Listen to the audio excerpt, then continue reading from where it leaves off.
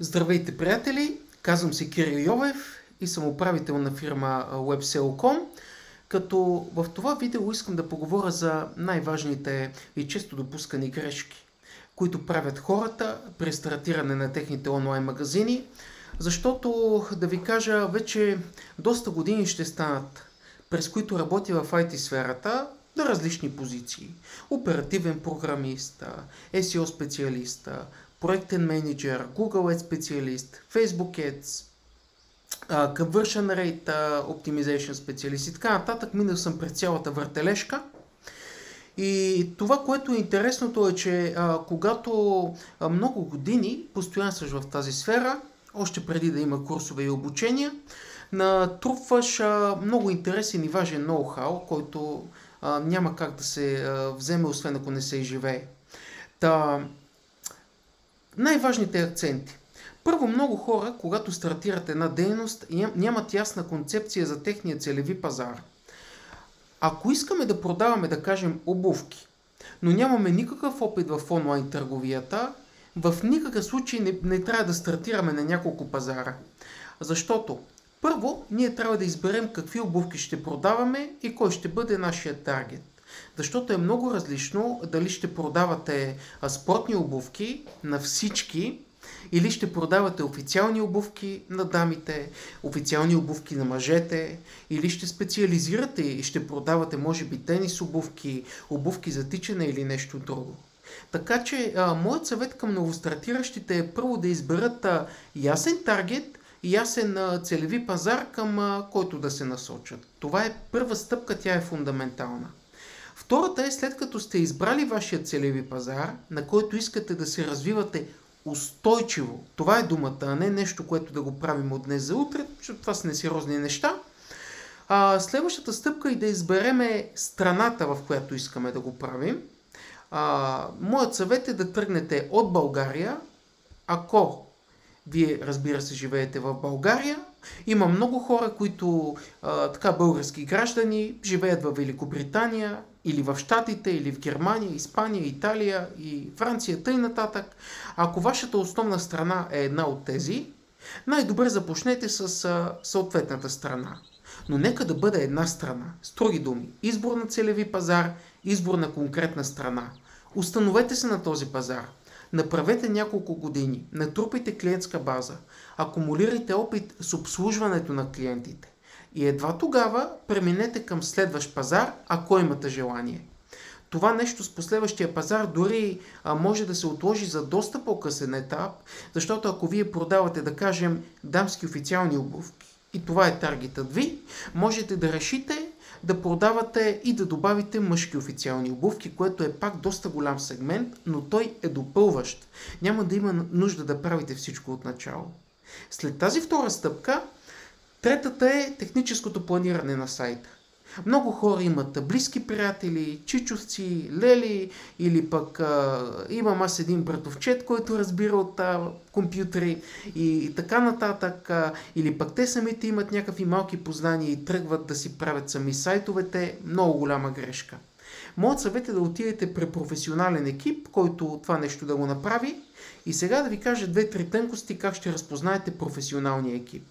Когато при нас дойде клиент, ние задаваме много въпроси.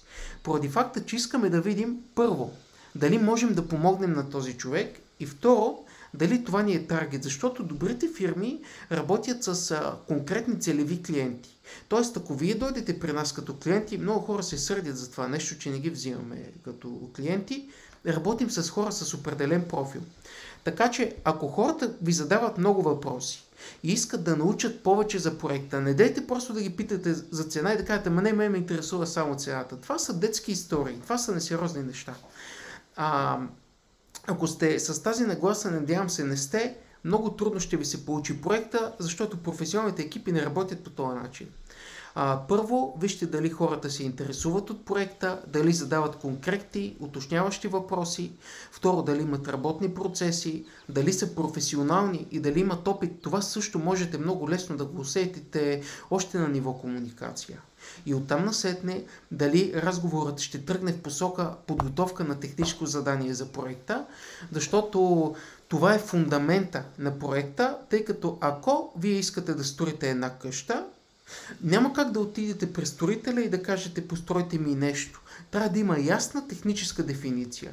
Архитектите се занимават с тези неща и те подготвят а, технически план, да кажем, който от, вие а, го взимате и отивате с този план при строителя. След което строителя ви дава оценка за изпълнение, бюджет, време, договаряте си каквото имате да договаряте и си правите нещата. Следваща стъпка, която е много важна, е свързана а, с а, нещо, което се нарича тагване а, на сайта тракинг или казано друго яче техническа инфраструктура за маркетинг. Това е много специфична тема, изключително важна. Много рядко виждам хора, които знаят какво е това нещо. Над 95% от хората не са добре запознати или са изключително слабо запознати. Това е предпоставката вие да имате работещ в последствие маркетинг. Conversion тракинга ви дава данни, кои от вашите кампании работят и каква възвръщаемост ви генерират. Без значение дали те са в Facebook Ads, Google Ads, SEO кампании, TikTok, YouTube или нещо друго, Instagram или прочее. Защото когато а, вие видите, че от кампания в, а, примерно, Facebook имате възвръщаемост 1 към 5, да кажем, а в Google имате 1 към 9 или обратното, ще знаете, че ако насочите по-голяма част от вашия рекламен бюджет към съответното място, което ви носи по-високи резултати, вие ще имате по-голяма възвръщаемост, която е все пак целта на всеки бизнес. Целта на всеки бизнес, скъпи приятели, е да дава стойност на обществото и на своите клиенти. Да решава проблеми. Това е смисъла на бизнеса. И ако гледаме идеалистично на един бизнес, бизнесмените ви трябва да са най-добрите хора, защото те решават проблеми. Те решават проблеми на много хора. А, но все пак бизнесът съществува освен а, за да решава проблеми, да постига и определени а, финансови таргети. Защото ако той не ги постига, той ще фалира. Като не постигаш съответните финансови таргети, не можеш а, да платиш разходи, найеми, заплати, осигуровки, режийни, софтуери, а, възнаграждения, един куп неща, консултантски услуги, които са свързани с менежирането на един бизнес. А, обучение, разбира се, изобщо не трябва да се забравя това нещо. Допълнителната квалификация на екипа е изключително важна.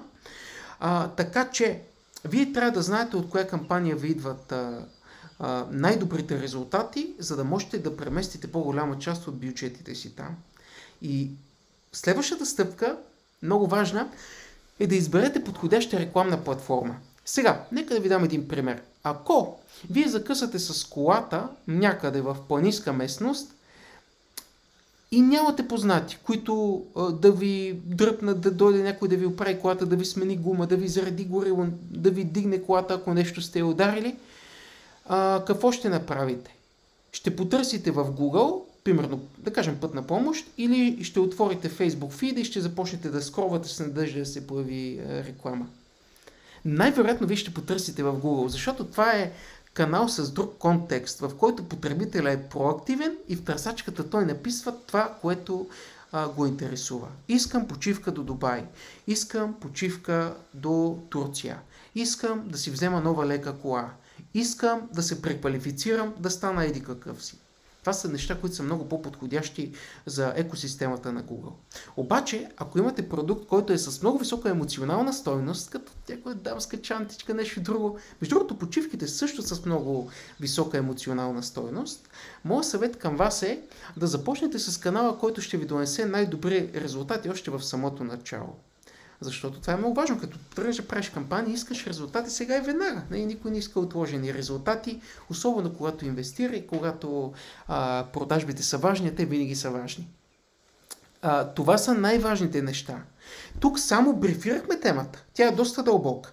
Не искам изобщо да а, засегам теми като conversion rate optimization, като правилни работни процеси при IT менежиране на проекти, при маркетингово менежиране на проекти, правилна организация на проекта, оперативен ноу-хау, технически ноу-хау, много други неща, правилно позициониране и така нататък. Това са неща, за които един предприемач научава във времето и ако вие сте начинащи и постоянствате и трябва да четете обаче, не просто да удряме главата в стената, трябва да и да четем, А, във времето всеки а, развива тези а, умения, които го правят а, много по-конкурентоспособен. Надявам се това видео да ви е дало насока и полезност. Аз съм Кирил Йовев, управител съм на websell.com и а, ако имате въпроси или ви е необходима подкрепа с а, развитието на вашия проект, можете да изпратите своето запитване, ние ще го разгледаме и ако можем да сме ви полезни, ще направим консултация и ще видим а, кои а, рекламни канали са подходящи за вас и изобщо какви биха били първите най-удачни стъпки. С това искам да ви пожелая хубав ден и до нови срещи!